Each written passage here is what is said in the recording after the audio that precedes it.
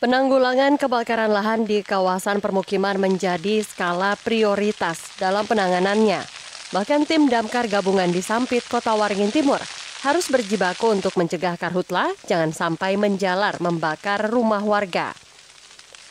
Seperti yang terjadi di kawasan permukiman Jalan Pramuka Sampit, Kecamatan Mentawa Baru Ketapang Selasa lalu. Petugas berjibaku untuk memadamkan kebakaran lahan. Kebakaran lahan dengan kobaran api cukup besar sudah menjalar sangat dekat dengan bangunan rumah warga. Kebakaran menimbulkan kepulan asap tebal yang menyelimuti kawasan tersebut.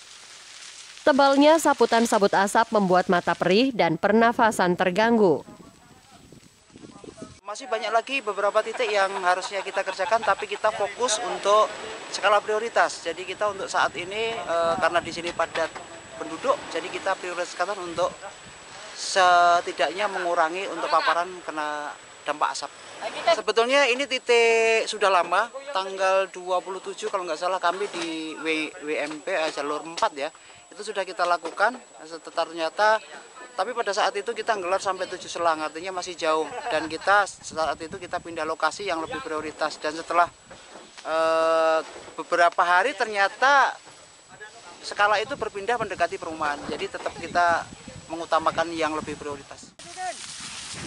Kebakaran lahan di kawasan permukiman yang terjadi sepekan terakhir membuat warga sekitar khawatir.